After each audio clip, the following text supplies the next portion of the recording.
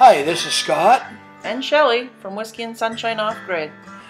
We've had so many questions about this smoker that you guys have seen out on our deck in some of our videos that we decided to make a video of uh, us using our smoker yesterday.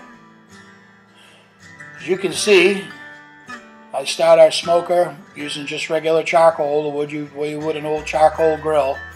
But we were fortunate enough to have a, uh, family member give us some apple. They had to cut down an apple tree, so we uh, we split up some of that apple and dried it out, and we're going to use that to actually smoke the meat once the uh, charcoal gives us that boost in temperature. So as you can see, I'm, uh, I'm putting cooking spray on the grates to keep everything from sticking, and I'm going to close that up, and I'm going to close up the firebox, and we're going to let that smoker run up to temperature for about an hour. This will kind of glaze the inside of it and make it so that it's nice and clean get anything out of the inside that we don't want. Okay, this is a perfect example of what you don't want to see for smoke. A lot of people seem to, well, not going back in. Hey, what are you doing? Wait a minute, get back out of there. a lot of people think you actually want a lot of smoke coming out, but you don't. You want thin blue smoke that you can barely see. Now, these cuts of meat are nothing special. That's a regular chicken from a grocery store. That roast is a chuck roast like you'd use for a pot roast. And the small roast in the back is, I think it's a little one of those little Smithfield. Yeah, it's a pork. Yeah, a little, little Smithfield pork, pork, roast. Pork loin roast. There you yep. go. Yep. I bought this little thermometer at uh, Walmart many years ago, and what it does, the probes, you can stick them in the meat, and it keeps you from opening the top all the time and losing your heat, which is something you, you really want to try to, to keep. Now the smoker has its own thermostat up there, thermometer, so you can see what the temperature is. But the problem is it's so far away from the firebox and it's so high, heat rises. So what I always do is I will take and leave one probe hanging down in the firebox so that I can see what the actual firebox temperature is. That way I can balance it between the two until I get it figured out at the very least. Okay, this is us kind of drying the apple just a little bit more that we're going to use next time around. But there's a tremendous difference in what the uh, what the two different thermometers say. Ideally, you want to be smoking your meat at right around 220 to 225 degrees. This thermometer up here right now, I believe, reads around 310 or 315. So that's the difference between the two. You don't want to overcook it and burn the outside. You want to slow cook it. That's the, that's the key. Well, that looks good. It does. Just getting started. Once I verified the temperature of the smoker, I just took that of the probe and stuck it in the other side of the chicken breast. Because chicken is very sensitive. You have to you have to get it above 140 degrees within the first hour, or you, stand a chance of having a bacteria build up that can make people sick, which is the last thing you want to do. I would say uh, poultry is probably the most sensitive to cooking like this, and then pork behind it. You want to make sure you get everything done. You want to make sure you go by temperature, not by what it looks like.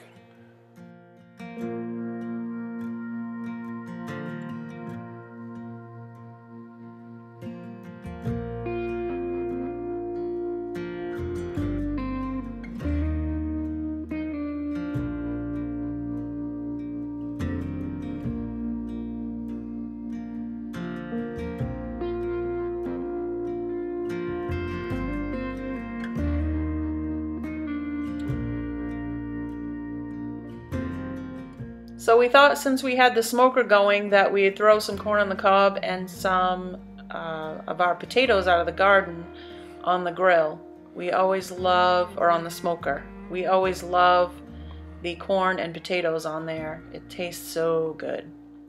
I melt down some butter and uh, what did I put in? Um, garlic. Garlic and butter, can of Budweiser. Well, not a whole can because it had to be taste tested. Well, we had to test it first. Yeah. Probably close yeah. to a half a can. Yeah, maybe. if you can see down in the bottom, there's a pan of water down there. That isn't to catch the drippings.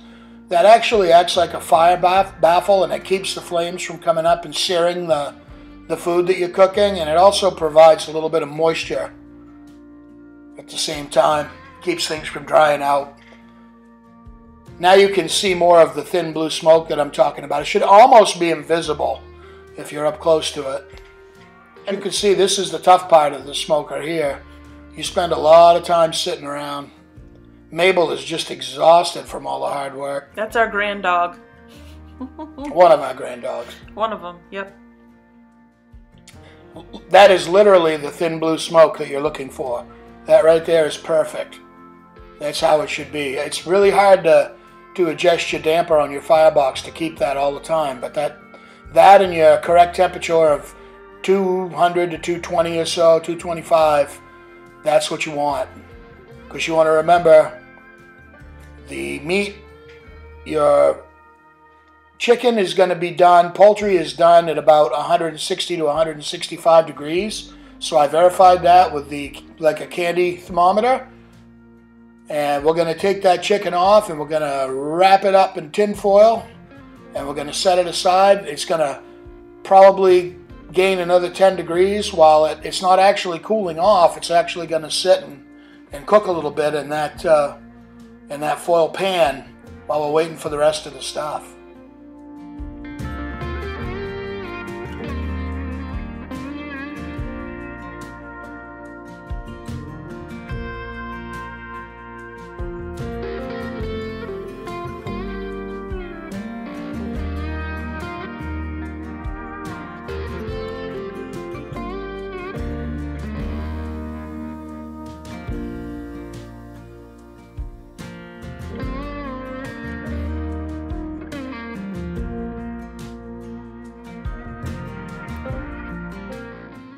So now that the chicken is done and uh, sitting, finishing its in its own juices in that aluminum tray wrapped up tight, we're going to move everything else a little closer. Now the roasts are done at a whole different temperature. I would suspect uh, most of the time they say it's done at 180, but it's rare. If you if you're cooking on a smoker, I strongly suggest running your uh, pork and your beef up to like 200 degrees even as high as like 208, and then give it the same treatment you gave the poultry. You're going to want to take it off. Well, that looks good, doesn't it? You're going to want to take it off and wrap it up tight and let it stand for an hour, and that's how you finish it. But once you hit 160 with the pork and the beef, you want to wrap it up with the foil to keep the outside of it from burning. So that's what we're doing here. I'm gonna we're gonna wrap this up tight and we're gonna put it back on the smoker.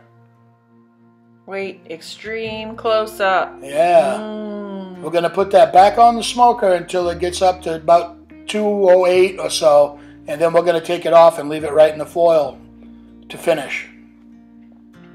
And we will do the same with the beef. The beef is just bigger, so it hasn't it hasn't got up to temperature yet. This is a slow process. I this whole thing, I believe, took about uh, four hours, with the majority of the time being the beef. The chicken cooks fairly easily. It, it would have cooked even easier and even quicker if we'd spatchcocked it. And that's when you cut it down the sides of the backbone and flatten it out. But we got to take the uh, core on the cob. All we did with this was uh, you you didn't shuck it all the way. You just pulled the corn silk off, and then right. we used the used the rest of the the outside to cover it back up while it's being smoked. Yeah, just a little. Yep. And we're going to rearrange these potatoes a little bit to get the ones that were the furthest away from the flame the closest so that they get some of that heat and get cooked all the way through too. We're just giving everything a little bit of drizzle of the butter and beer and garlic. Yeah, that's your department. Mm. If I'm drizzling beer, it's usually in my beard. well, we got to have it on the food too.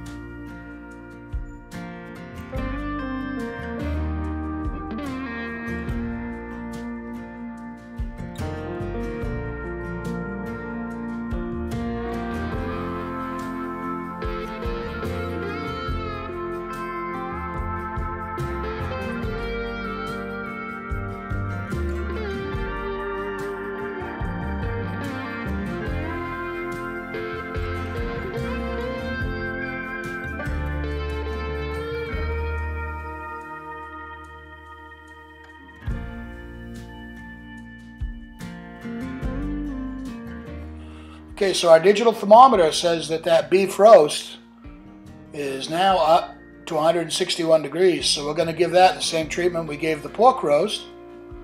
And we're going to take it off and wrap it up. Now I don't bother to try to wrap it over those electrodes that you stick in it. It's way easier and more accurate if you just wrap it up and shove it right through the foil into the meat. You want to make sure you don't get it out the other side because Wait, then another gratuitous meat shot. yeah, if you get it out the other side, eh, you're going to be recording the uh, recording the temperature of the firebox more than you are the temperature of the meat. So always put it in at an angle. That way it doesn't go all the way through.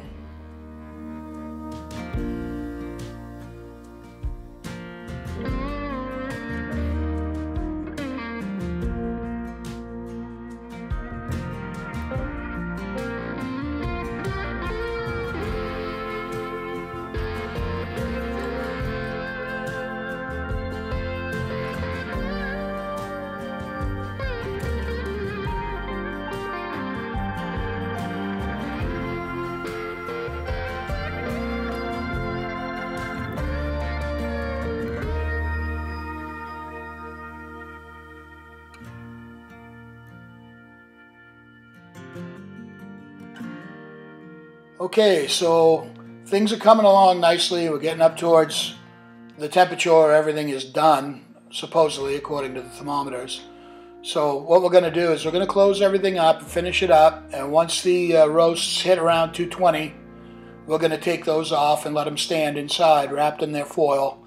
And we will come back and check the corn and the potatoes and make sure that everything is cooked. Okay, so it's been about uh, another 45 minutes or so, and everything was the right temperature. Now we've let it stand for an hour. And uh, this made me nervous at first because it looked like that was tough when she was cutting it. But actually, the problem was it was so soft, the knife had a hard time cutting into it. If you watch, you can actually see that it really wants to pull apart. So it's actually very soft. Oh, it was very good. This is the pork roast. Like I said, this is one of those little Smithfield oven roast. You can see the smoke ring. That's what the pink is. You'll see that on the chicken too, and a lot of people see that and they panic because they think the chicken's underdone. It's not. It's always going to have a smoke ring. As long as that chicken comes up to 160, 165 degrees, it's safe. How is it? Delish. And the chicken. Oh boy. Man, oh man, that was so good. It's like the potatoes were done. Yes. We actually had sour cream, so we put a little butter and sour cream on there. It was so good. There's a lot more to this than what we're talking about. You actually, if you go online, you can see all kinds of different recipes. It's, it's fun to experiment, you know, and I'm by no means an expert, but like I said, we get so many questions about this that this is how we do it, right or wrong. You got to remember, I'm just a Maine hillbilly. I don't, I don't know much about the smokers. Is something that's pretty new to me.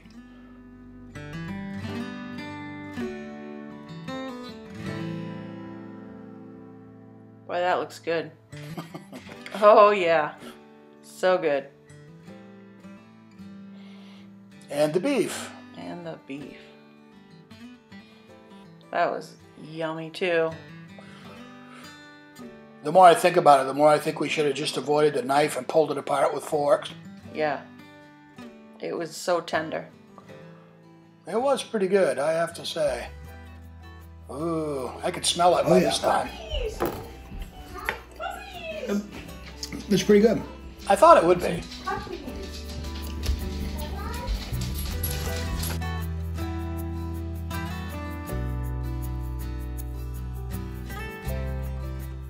So, once again, I'd like to thank you for uh, coming along with us to check out our smoking video. We had a smoking good time. Hope you guys will enjoy this. Kind of a new type video for us. So, if you have anything to say? Yeah, thanks for coming by, guys. Please like, share, and subscribe. And, And have a great day. And remember, we're whiskey And sunshine. off grid. Thank you.